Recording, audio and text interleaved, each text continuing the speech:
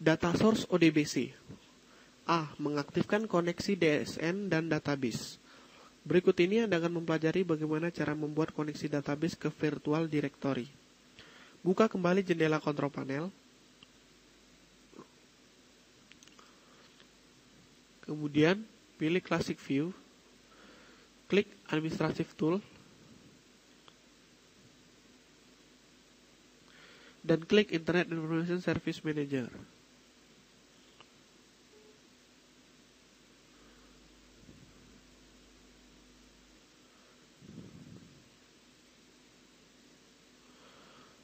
Untuk sementara, tutup terlebih dahulu. Kemudian klik data source ODBC di sini. Pilih continue. Kotak dialog ODBC data source akan tampil. Aktifkan tab sistem DNS yaitu di sini. Kemudian klik tombol ADD.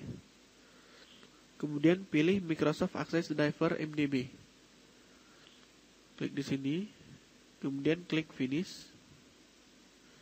Beri nama DNS jam 6 pada data source name. Kemudian klik tombol create. Arahkan lokasi direktori ke folder jam 6. Klik di sini. Klik di sini, klik di sini. Kemudian klik OK. Ketik database name dengan nama db jam 6. Kemudian klik OK. Kotak dialog ODBC Microsoft Access Setup akan tampil dan memberi pesan bahwa pembuatan database telah berhasil dilakukan. Klik OK. Kemudian klik OK. Klik OK. Dan tutup dengan klik tombol OK kembali. Selanjutnya, Anda dapat melihat file database yang telah dibuat di dalam jendela Windows Explorer pada folder jam 6. Buka folder Drive C, Dreamweaver, jam 6. Terdapat sebuah file akses, file database DB jam 6.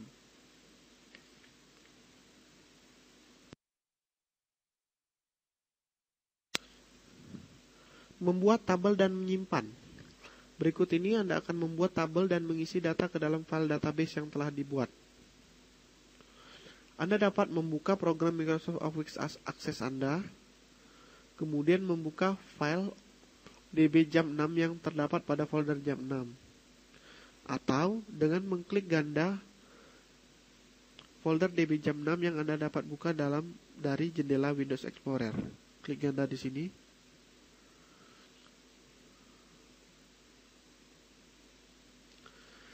Setelah Anda masuk ke dalam program dari Access 2007, klik tab Create, kemudian pilih klik Table Design di sini. Kemudian buat filenya dengan struktur seperti tampilan berikut, yaitu name, nama, tanggal lahir,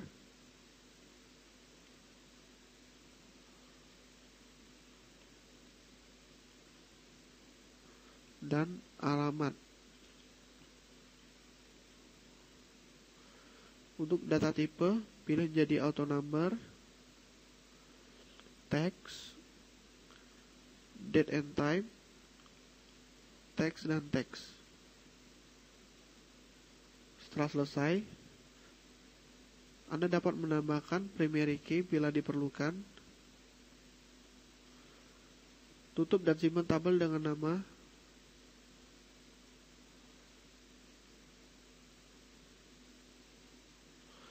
T mahasiswa. Pilih yes.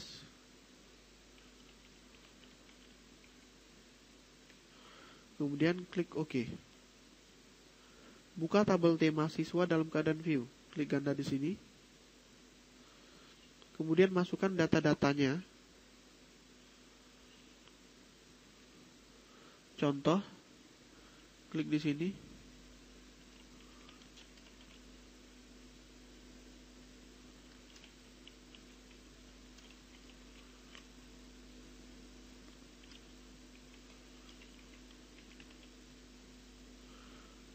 Kemudian tanggal lahir,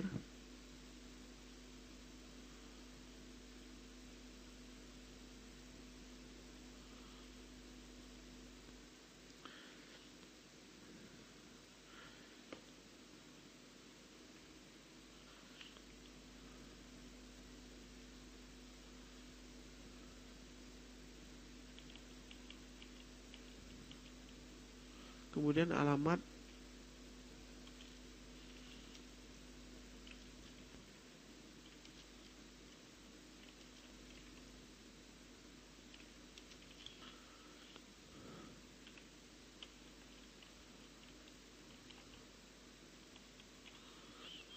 Setelah selesai, tutup jendela tabel tersebut, maka tabel telah dibuat.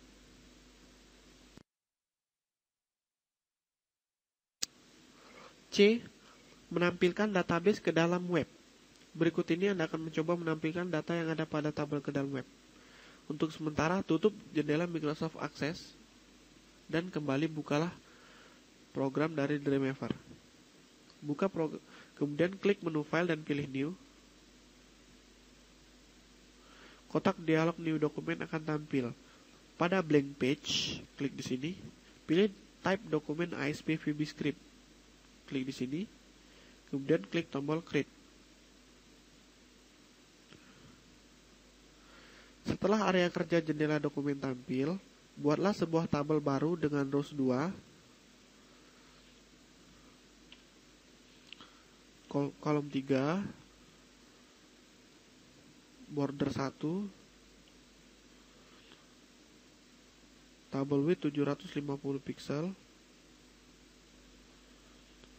atur alin menjadi center. Masukkan beberapa teks seperti tampilan berikut. NIM nama alamat gunakan bold dengan color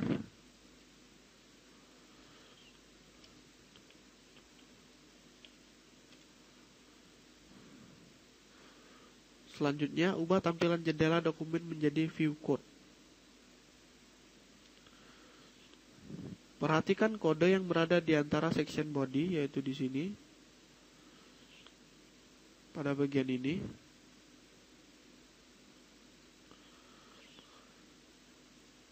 Ubah beberapa kode tersebut menjadi kode seperti berikut ini.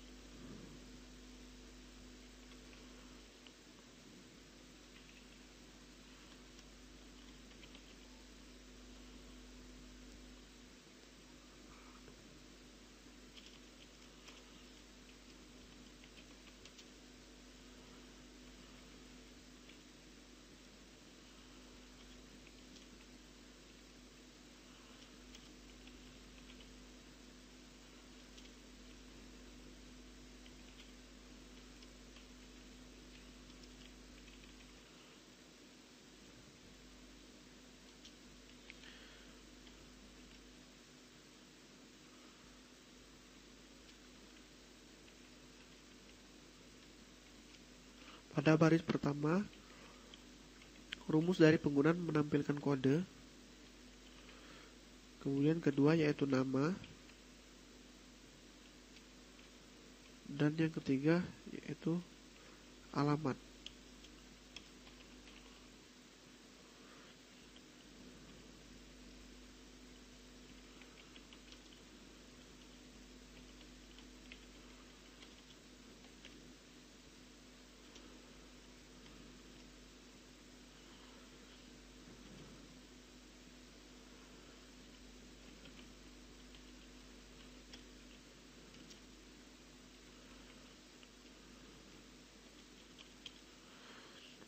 Selanjutnya pengkoneksian ke database. Sisipkan script berikut ke dalam di bawah ini ke dalam tag dari section head. Yaitu di sini. Antara head dan section body